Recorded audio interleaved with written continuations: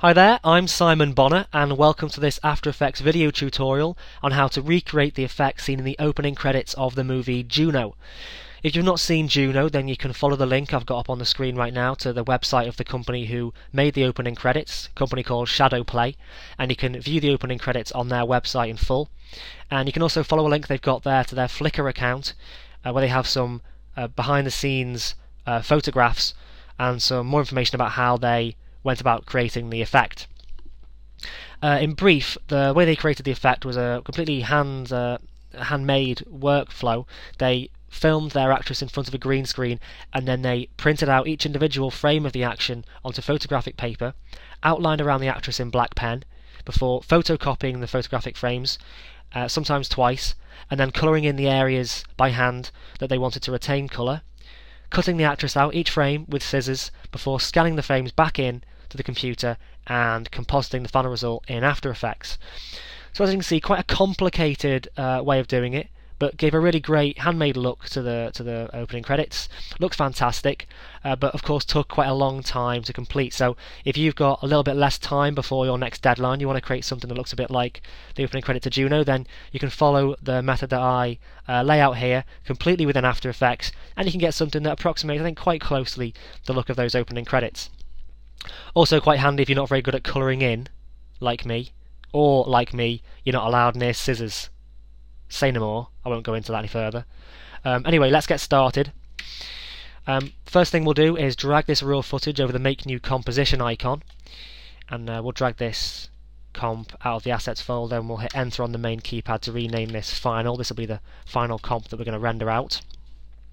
And what this raw footage is, is just our actor in front of a green screen that I've already keyed out and then um, rendered this, uh, rendered that footage out as a QuickTime animation with Alpha Channel built in, so we can just bypass the whole uh, keying process now and just skip right right to the, the effects.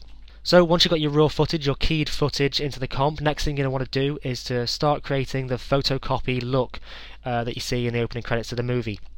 And there are probably loads of different ways of doing this. I settled upon one particular way, which I'm going to show you now. If you want to do it a different way, that's fine. You can just pick it up later on, but I'll just show you the way that I decided to do it. First thing we're going to do is um, select the layer in the timeline and hit Control D to duplicate it. I'm going to start adding some effects. So to the top layer, we're going to first of all add the hue and saturation effect. And we're going to boost the master saturation up to 40. This is just to get us a nice um, saturated blue on the shirt because we're going to want to preserve this blue and uh, the more saturated it is the better it's going to look when we're finished up. You'll be happy to know when to get rid of this skin colour we're not going to end up with an actor looking like Paris Hilton. We're going to add the leave colour effect to get rid of these skin tones. We use the eyedropper here to pick the colour of the shirt, the blue, and then set the amount to decolour right up to 100 and get rid of all the skin tones. Next thing we'll do is set the transfer mode of this top layer to overlay. I'll just pull this up so you can see it. There we go. Overlay. And that starts to give us this nice contrasted, um, almost like dirty look. Getting there towards a kind of photocopy look, but of course we've got the skin tones back, so we need to use some uh, more effects on this uh, second uh, layer of the, of the raw footage. So the first thing we're going to use is the CC toner effect. And we're going to change these uh, highlight, midtone and shadow colours. So first of all we'll set the highlight uh, colour to uh, values of 220, 2220, 220, 200 and 190 and that gives us a nice slightly orangey white colour. And then we'll set the mid-tone to uh, kind of uh, light, another sort of light uh, yellow, not quite as light. We'll set this to values of 200, 190, 190. And then we'll set the shadow to a kind of uh, dark grey. Um, you know, imagining perhaps that we have uh, run out of toner in our photocopier maybe, so we don't have some really, really dark blacks. And this starts to give us a look that approximates the look that we see in the opening credits of the film. And the last thing we'll do is we'll add some grain to the bottom layer, uh, make it look a bit more dirty. We'll uh, set the viewing mode to uh, final output and set the intensity up to 2 so we get a bit more noise and uh, there we go we've got our photocopy looking effect. Okay, I think the colorization looks pretty good, but at the moment the frame rate is a bit too high. I think in the opening credits to Juno, the uh, frame rate fluctuates from being quite high, probably around 24, to being quite low. I think probably around 5 frames per second, although I'm not sure. So what I'm going to do for this particular shot is to uh, hit Control K to get my composition settings, and then set the frame rate right frame rate right down to a value of 5. Okay, and then I'll go to the out point for the, the footage, hit N to trim the work area to this particular position, right click, and then choose trim comp to work area so we've got no blank frames at the end. I think this looks a lot better now. We've got this kind of jerky look to it, like it like it really has been animated with with a, just a short number of frames. So I quite like the way this looks. So it, I think we can can carry on now. So we'll uh, hit Control Shift C with both of these layers selected, and we'll pre-compose this to uh, affected footage. Okay. And now what we'll do is we'll add the black pen outline that goes around the edge of the actor. So to do that, we'll select the layer in the timeline and hit Control D to duplicate it. We'll rename this layer outline. And then to it, we'll add the fill effect. And set that to a kind of uh, very dark grey. Then we'll add the simple choker effect and we'll set this to a value of minus 7 so we've got a nice thin black line around the edge of the actor. And next what we'll do is we'll add the outline, uh, a sort of paper outline around the edge of the actor as if the actor's been cut out by hand from a piece of paper as if he's from, from a real photocopy. So um, to do that we'll duplicate the outline layer and we'll call the bottom layer paper. And we'll change the fill color to kind of off white, slightly grey. And we'll change the simple choker value right up to, well, right down to minus 20. And we'll turn off transparency here, we can see what that's looking like. So I think it's looking okay uh, to start with, but I think in order for it to look a lot more realistic, like it really has been cut out with scissors from paper, we need to really roughen these edges. They look a bit too neat, so we'll add the roughen edges effect. And I think what I'll do for this particular shot, though it probably change from shot to shot, uh, what's most suitable, I think I'll set this to a scale of 150 just so it isn't as rough. Um, there's a little bit less roughness around here, so I think that looks a bit better. And the final thing I'll do here to add a bit of randomness in the size of this paper outline is to add an expression, a wiggle expression to the choke matte property of the simple choker. So I'll hold down the Alt key, click on the stopwatch, and I'll type wiggle 5 comma 10 and what this wiggle expression will do is 5 times a second the value of the choke matte property will be varied by a value of 10 and uh, what that really means is that this uh, the width of this paper outline will vary from being really thin to really thick. So here's a quite a thick value here see if we can find something that looks a bit thinner. Just really giving the impression here, here we go, giving the impression that uh, sometimes when the, the frame is cut out by hand, it's cut really close to the edge of the, the outline and sometimes it's cut far away, just to give it a more homemade, naturalistic uh, look to the footage. Uh, okay, so that's all fine. We can now pre-compose all these layers, Control Shift C, just so we've um, got them all a bit neat and tidy. We don't really need to do this, but I think it's nice to keep it a bit neat and tidy. So we'll call this the actor composition. And now we can start building the background.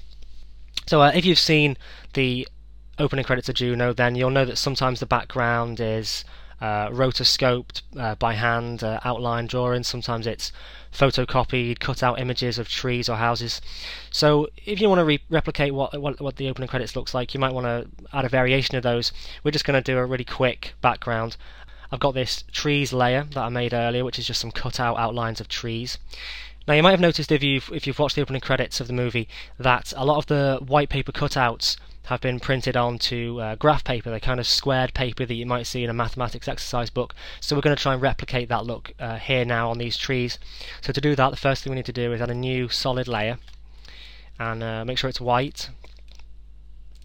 Okay, and comp size, and we'll hit OK, and then we'll add to this layer, the grid effect. Okay.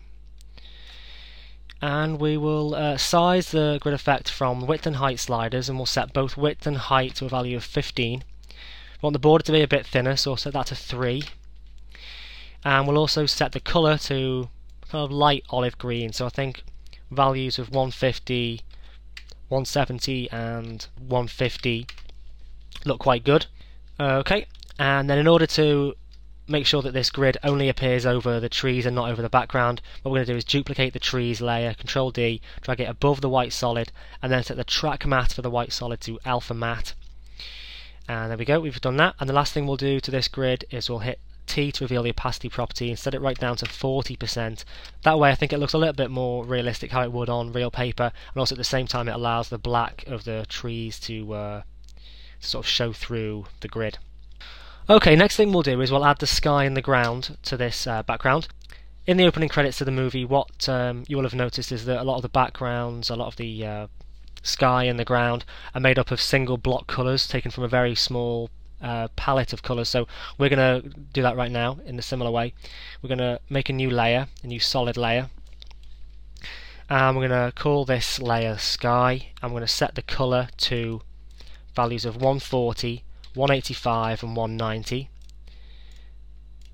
and then we're going to drag this to the bottom of the layer stack. Then we'll add a new solid layer and we'll call this ground. And we'll set this to a colour of 200, 180 and 150 okay and, and again to the bottom of the layer stack. And then with the sky layer selected we'll use the pen tool to draw a line through here where, about where the horizon would be Okay, and these are colours that are similar to those that are present in the opening credits of the movie, so I think it's starting to approximate a background that we might see. Now we can bring our actor back, put him on the top of the layer stack, and now we can just add a couple more elements just to finish the background off. We might want to add some clouds, so I'll just bring those in. I made these uh, clouds earlier. Okay, and I'll just put these beneath the actor layer. You might also want to add a bit of looped um, background interest. So in the opening credits to Juno, there are a group of runners who run behind the actress on a couple of shots. So we can just um, add those.